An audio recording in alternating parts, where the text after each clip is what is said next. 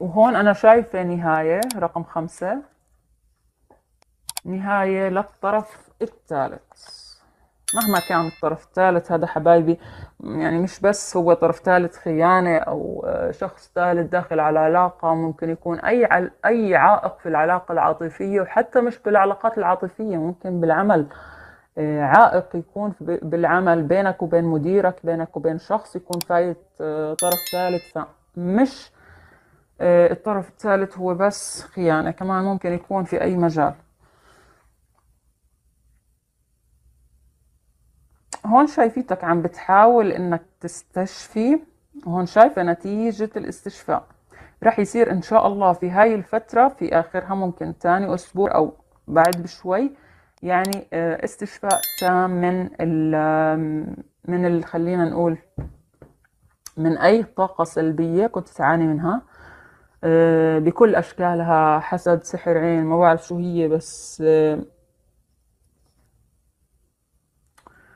انت بتعمل رقيات بتعمل استشفاء آه، في منكم بيروح يمكن عند معالج طاقة في منكم بيمارس يعني أمور بتعمل على الاستشفاء وعم بيستمر عليها عم بيكون آه، مكافح في هذا الموضوع ما عم يمل ولا يكل يعني يضلوا يكرر هذا الموضوع. لذلك بشوف عندهم السبع تشاكرات آه، انضاف يعني شخص لا يعني شخص عن جد عم بيشتغل على حاله هاي الفترة وعم بتجيب نتيجة. برج الدلو بشكل عام حبايبي هاي الفترة يعني على قد ما تشتغل أنت آه، على حالك على قد ما السنة الجاي خلينا نقول آه، أو الأشهر اللي بعدها رح تكون بخير. فكتير ركز على المدة الجاي آه، كيف رح يكون شكلها. نيجي ناخد هاي الكروت نفتح بشكل عام على العاطفة.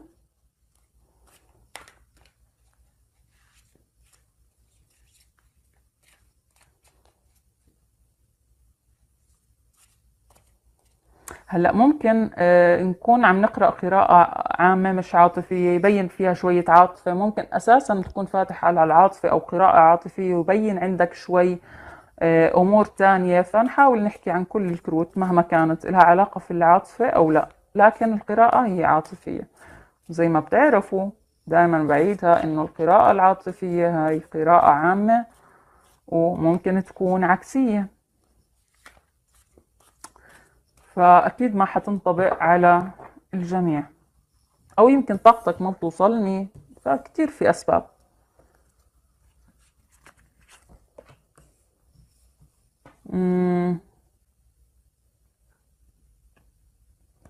هون بقول لك انسى الماضي. كتير كتير عم بتفكر بأخطاء الماضي. ما عم تنسى للشريك الأشياء اللي عملها والشريك ما عم ينسى الأشياء اللي أنت عملتها. ما في تسامح ما في إيه، في شايفة شوي روح الانتقام بالموضوع آه، ما عم تنسوا. شوف حابة تكون كتير وحيد هاي الفترة.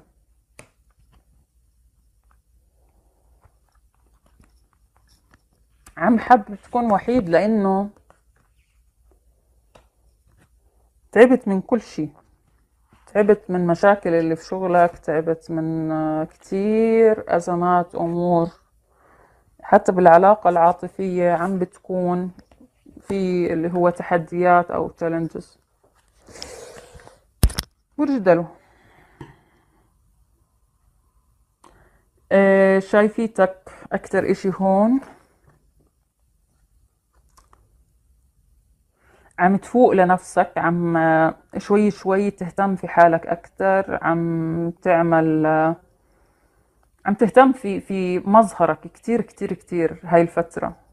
فمش بس مظهرك عم تحاول كمان تقعد مع حالك تأنب حالك يمكن أحيانا أحيانا لا بالعكس. فعم تقعد مع حالك كتير عم تتواصل مع روحك الداخلية عم بيكون عندك حدس قوي كتير هاي الفترة أو حاسة سادسة. ف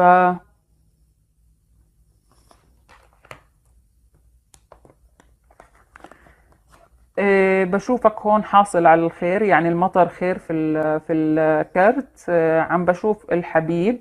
عم بيجهز حاله. بعدين جاي وهو مسلم يعني شوف آه، رافع الراية البيضاء وجاي لعندك. فبدك تكون يعني مستقبل جيد لهذا الموضوع وما تكون قاسي ما تكون آه، خلينا نقول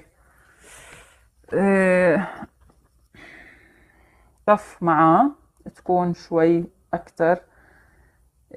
هون شايفة في شايفة في عوائق كتير في علاقتكم العاطفية آه، يمكن تزداد بهاي الفترة ولكن على قد ما أنتوا آه، تعبتوا على قد ما حتلاقوا.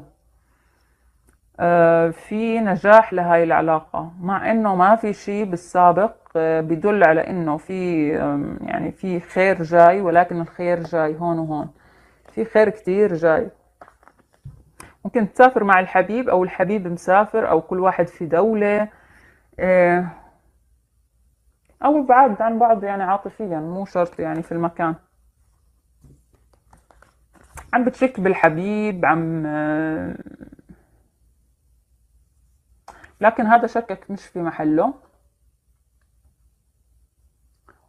شايفك رح يعني رح توصل أوكي أنت والحبيب ولكن يعني رح توصلوا لنقطة معينة رح تتكاملوا رح آه، تقربوا كتير مع بعض. ولكن هذا كلياته بيحتاج جهد منك جهد منه. إذا ما صار هذا الجهد ما في فايدة. ف... وشايفة هون كبرياء كبير من الطرفين يعني الطرفين عم يتعالوا عن الموضوع إنه كل واحد عم يترك الثاني آه، لحتى إنه يرجع. أكثر إشي شايف الكبرياء إنه هاي اللي مش هاي اللي متأكدة إنها مش عكسية يعني اللي متأكدة منه إنه برج الجدي هو اللي عنده الكبرياء الكبير هذا. فعم بشوف حاله كتير هيك إنه لا هو مستحيل يرجع إنه كذا ولكن جوات قلبه بيموت بالحبيب كتير كتير بحبه. شايفة للناس المتزوجين ممكن يكون في عندهم سفر أو هجرة عم بيفكروا فيها إلها فت... إلهم فترة طويلة. وين تكملة هذا أهو خلينا نشوف إذا في نصائح.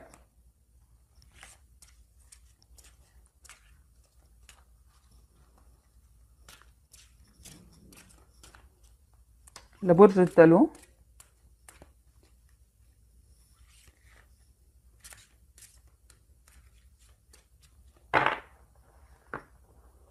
ممكن تكون message من الكون ممكن من الملائكة. يعني بقول لك غير نظامك اليومي غير ممارساتك اليومية. قبل شوي قلت لك ممكن يكون في عندك addiction ممكن يكون في عندك إدمان على موضوع معين. فهون عم بيقول لك فعلا إنه زي ما قلنا إنه آه، بداية جيدة لحتى أنت تعمل exercises تعمل مش عارفة اللي هو برنامج جديد لحياتك اليومية تغير في حياتك اليومية. ما تضلك نفس الروتين طول الوقت نفس الروتين بتاكل نفس الأكل بتروح بتعمل نفس الشيء. إذا كنت مدخن عم بتدخن بكثرة إيه، عم بتروح لل extreme في المواضيع فبيقول لك لا. إنه هيك وهيك. إيه، كمان برج الجدي ناجح جدا في العمل. فالعمل عم ياخذ منه كتير تفكير وكتير اللي هو ما بيعرف يوازن كتير بين التفكير والعاطفة أو عنده مش عارف العاطفة أهم من أنا بحكي عن الرجال من الجدي مش عن البنات. البنات طبعا لا عاطفيين كتير رومانسيين آه، عندهم أنوثة يعني طاغية. ولكن أنا بحكي عن الرجال من برج الجدي عم بيكونوا كتير عم يهتموا في الشغل على حساب آه، العاطفة أو على حساب عيلتهم. إيه listening. بيقول لك استمع بإصغاء. يعني أنت من الناس يمكن اللي بتطنش كتير بتسمع وبتطنش. يعني ما بتستشير كتير بتعمل اللي براسها. بقول لك لا استشير اللي حواليك. يعني اسمع. ممكن كمان يقول لك اسمع للطاقة الكونية. إيه حاول تكون أكثر روحانية. وكأنك شخص نوعا ما الحا يعني حاليا عم بتكون شوي بعيد عن روحانيات. فبقول لك زود هاي الروحانيات. شيم آه الظاهر إنه في حدا من العائلة عندك أو أنت شخصيا أو الشريك عمل شيء يدعو لل هي كلمة كبيرة بس أنا يعني بترجمها حرفيا إيه، للعار. أو مش للعار يعني لا ما بعرف صارت فضيحة صار شيء صار شيء مؤلم يعني صارت مشكلة وكبرت ف بيقول لك إنه رح تمشي عديها حاول تنسى.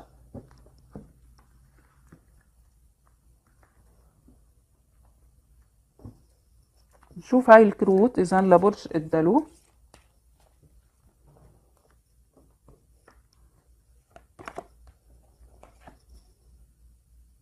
برج الدلو بيقول لك في هذا الكرت إنه الفترة الجاي رح تكون في وفرة كتير أو رح يكون في حظ فاستغله لأنه بعديها في فترة مش قحط يعني بس بعديها في فترة يعني رح تحتاج فيها هذا المال رح تحتاج فيها هاي العاطفة. بقول لك عبي على قد ما تقدر هاي الفترة اشحن حالك على قد ما تقدر. آه عندك وفرة مالية حاس يعني حاول إنك تكسب أكثر شيء ممكن. آه وكأنه في بعديها شوي آه نزول في هذا الموضوع. إن شاء الله ما يكون فيه بحكي لك you are safe أنت بامان مهما كانت الظروف حواليك أنت آه ما تخاف. مهما كانت التغيرات حواليك على أي صعيد فأنت ما تخاف. أنت في عناية إلهية أو أنت بيقول لك you are safe فورق حلو الحمد لله رب العالمين اللي طلع فيه ورق حلو. يعني إن شاء الله يا رب إنه الأشياء الحلوة تصير والأشياء اللي مش حلوة ما تصير. فحبايبي برج